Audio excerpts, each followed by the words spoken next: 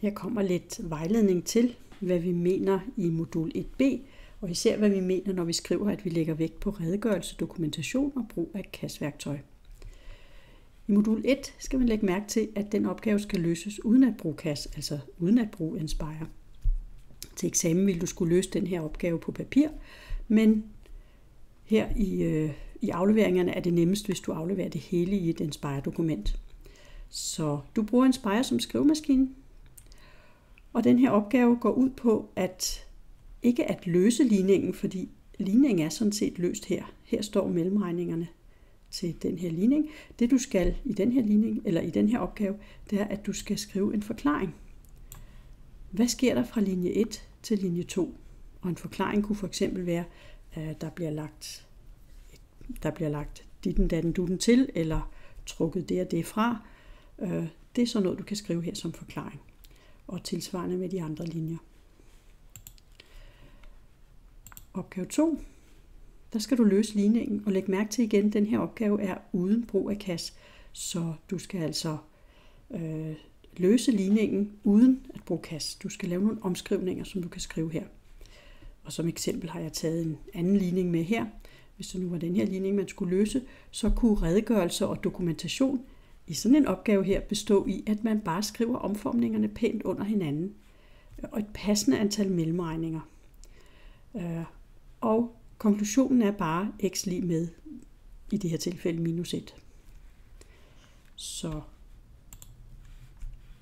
det er det, vi forventer i den her opgave. Opgave 2b, også uden brug af kasse her er det, handler det også om en ligning, men læg mærke til, at den her gang skal du ikke løse ligningen. Det er en svær ligning, den, kan vi, den forventer vi overhovedet ikke, du kan løse her på C-niveau. Men du skal undersøge, om x lige med 4 er en løsning. Og det skal du skrive hernede, hvordan du har gjort det. Det er altså ikke nok at skrive ja, x lige med 4 er en løsning, eller nej, x lige med 4 er ikke en løsning. Du skal forklare, hvad du gør. Altså, det kunne være noget med, at du øh, ser, sætter x lige med 4 ind på, på venstre side og regner ud, hvilken værdi får du på venstre side, og bagefter sætter du ind på højre side, x lige med 4, og finder ud af, hvilken værdi du finder der. Og så kommer du med en konklusion om, at fordi sådan og sådan, så er x lige med 4 en løsning, eller x lige med 4 er ikke en løsning. Så redegørelse og dokumentation er her. Det er altså det er ikke nok at skrive ja eller nej. Du skal forklare, hvordan du har undersøgt tingene. Opgave 3. Her skal du så til gengæld bruge dit kasseværktøj, og der står oven i købet, at du skal bruge solvekommandoen. Så den her ligning får vi at vide har to løsninger, og du skal finde dem ved at bruge solve her i delspørgsmål A. Og i delspørgsmål, og der skal du huske, når du har brugt solvekommandoen, kan du ikke bare slutte der. Du skal lige komme med en konklusion på, hvad er løsningerne så. En solve, en, en inspire-kommando må aldrig stå alene. Man skal altid lige konkludere på den. Delspørgsmål B, øh, der skal du forklare, øh, hvorfor dit resultat er rigtigt, og du skal bruge de her grafer til det.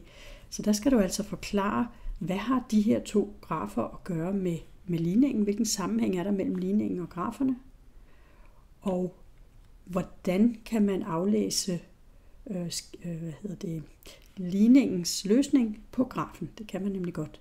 Og der skal du faktisk bruge dit kastværktøj på en anden måde.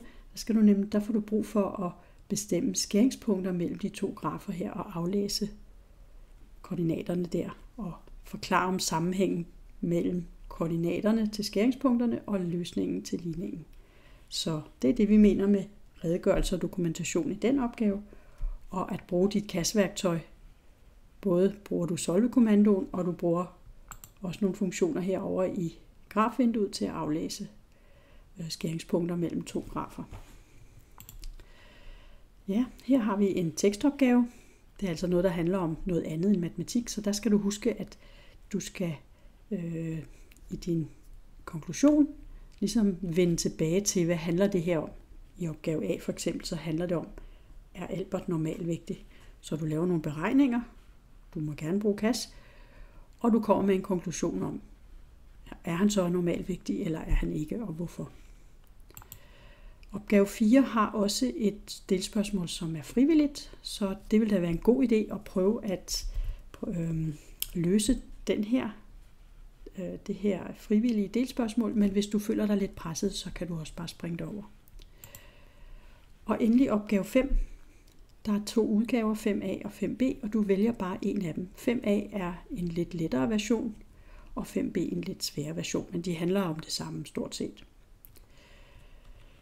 Og til allersidst, så øh, kig evalueringsarket igennem. Her kan du finde facit til mange af opgaverne, og du kan i hvert fald også lige tjekke igennem, har jeg nu, der er nogle øh, tjekspørgsmål her, har du husket at gøre det ene, og har du husket at gøre det andet. Og, øhm, så der kan du rette op på en hel masse i din besvarelse, inden du sender den afsted.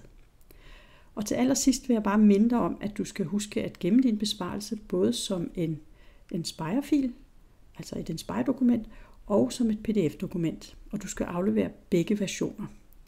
Hvis du har glemt, hvordan det er, du øh, laver en PDF-version af din besvarelse, så kan du gå tilbage til modul 0. Der kan du finde noget vejledning til, hvordan man gør. Ja, men rigtig god fornøjelse med modul 1b.